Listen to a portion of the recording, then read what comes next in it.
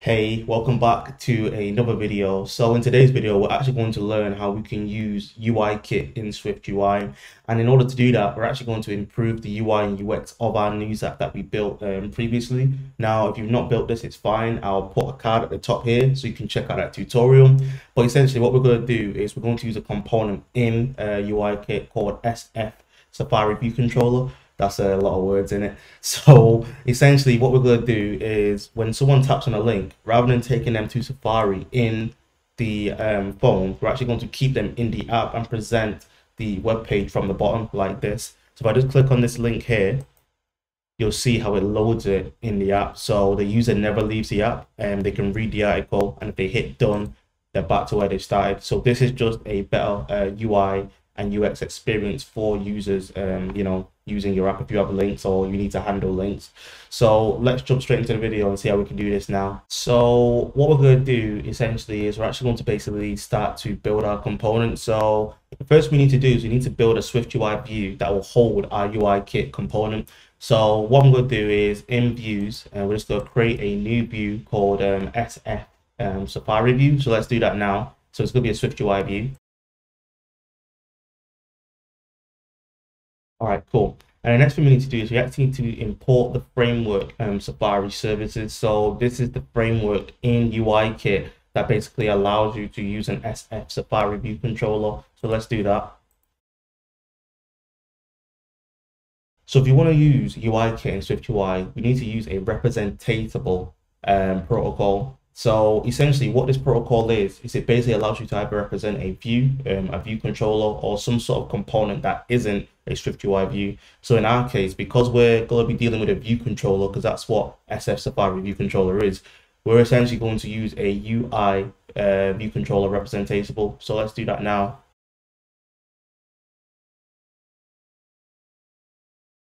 So let's break this down now. So the first thing you've probably noticed is that we've actually changed the type um, of this view. So instead of it being a view, it's now of type UI view controller representatable.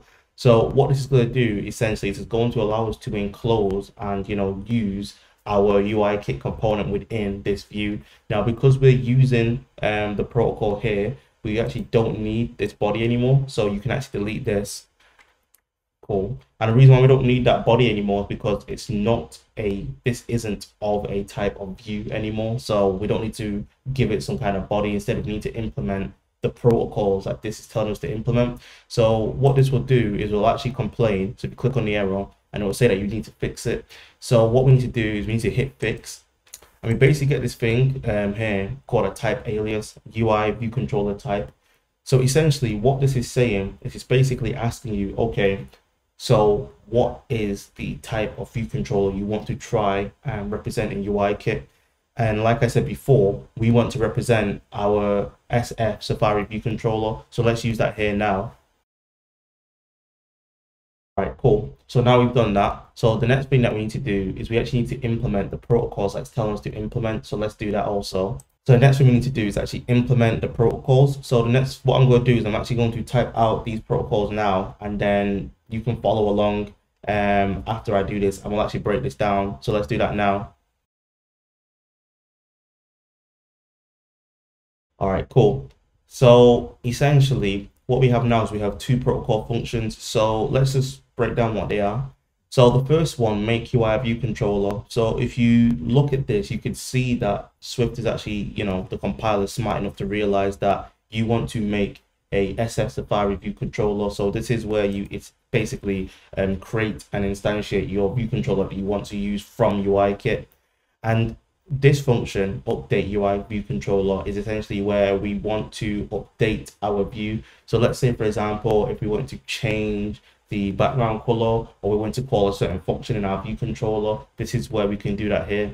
So the best way to think about this is this is where you create and initialize the object and this is where you update and style or call functions for that object. So what we're going to do now is we're going to resolve the issue where it's saying we need to return a view controller. And we're actually going to return a SF Safari view controller now so let's do that.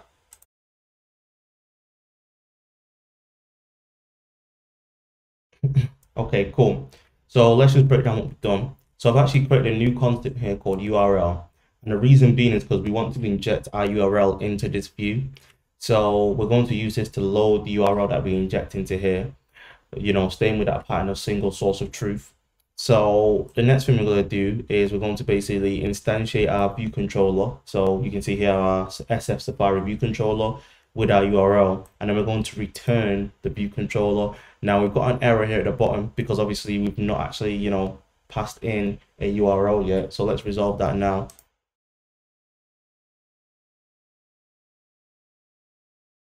All right, cool.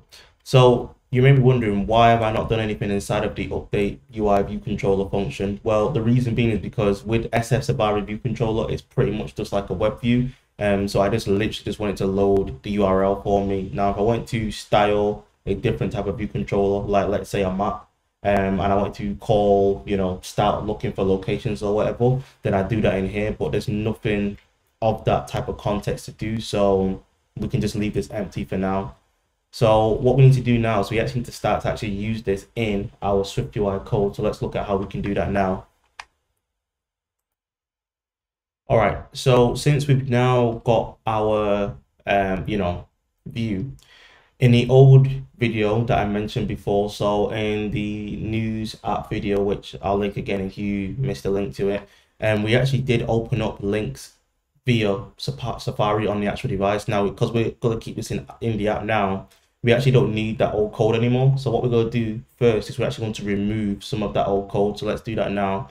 So what I want to do is at the top here where it says open URL, um, just delete this. And then if you scroll down to the bottom, you'll see a function called load um, URL. Well, we want to actually delete the use of this. So let's delete that. And if you scroll all the way down, we want to delete this whole function called load. So let's just delete this whole function. All right, cool. So now we took out the stuff that we don't need. So what we're actually going to do in order to actually use, um, you know, our new view is we're actually going to use a Swift UI property wrapper, um, you know, for handling data flow. And we're going to use a state. So what I'm going to do is I'm actually going to type this out now, and then we'll break it down a bit. So let's do that now.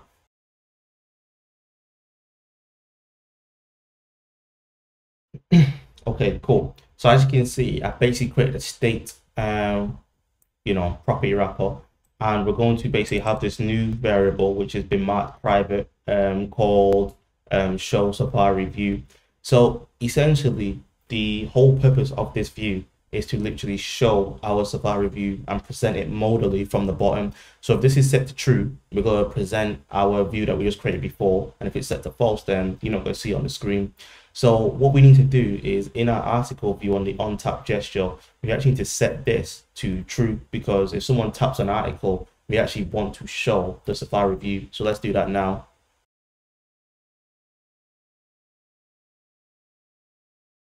All right, cool. So the next thing that we need to do um, after we've now added in the logic to show and hide our Safari view is we basically want to actually capture the um, article that's been selected. So what I'm just going to do is in our view model, we're basically just going to basically create a new property.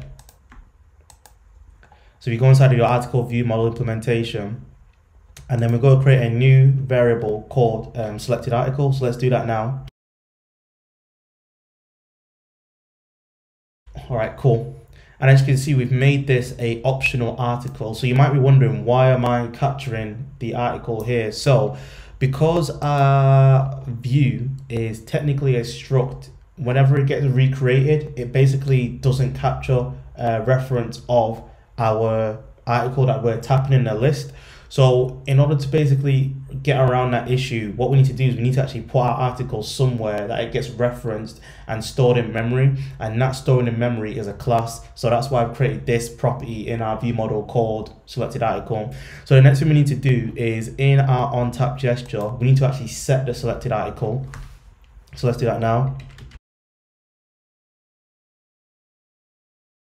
So now what we need to do is we need to actually use our sheet modifier to basically present our SF Safari view from the bottom. So this is a new modifier that you may not have come across. So what I'm going to do is I'm actually going to type this out and then we'll break it down. So let's do that now. okay, let's break this down. So essentially what we're using here is the sheet modifier. So the sheet modifier is what we use in SwiftUI to basically present views up from the bottom. So in this case, what we're essentially saying is we want to actually bind whether the sheet is presented to our state variable show Safari view. So if you're new to this, this dollar sign basically indicates that this variable, this property is now a binding property. So what does that mean in this case? So what we're basically saying here is we're going to check if is presented is true or not. So if this is true, then we're actually going to execute what is in our content parameter, which we'll move on to next. But if it's false, then basically nothing's gonna happen. So all this is doing is just watching what happens to our state variable. If we just scroll up, show Safari.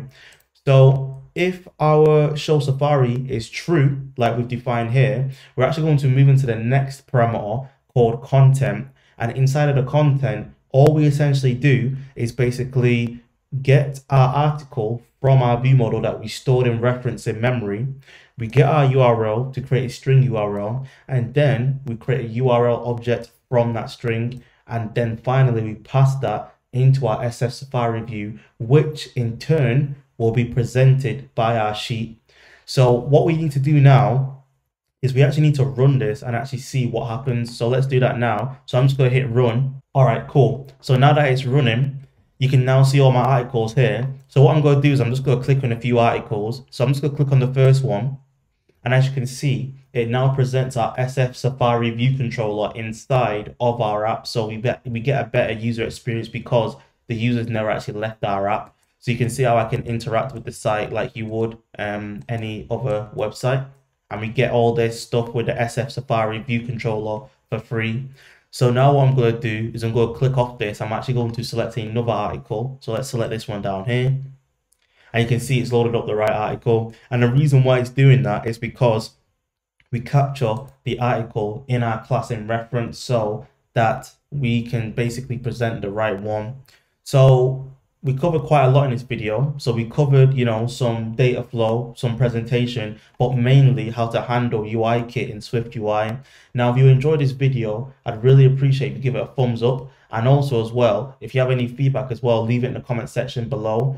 And if you haven't already, I'd really appreciate if you subscribe to the channel. So you hit the subscription button and hit the notification bell, you know, to get updates. I'm not asking for much, am I? So that's everything from me uh, today. I'll talk to you all um, in a bit and I'll be coming out with obviously new videos very, very soon. So that's everything. I'll catch you all in a bit. Deuces.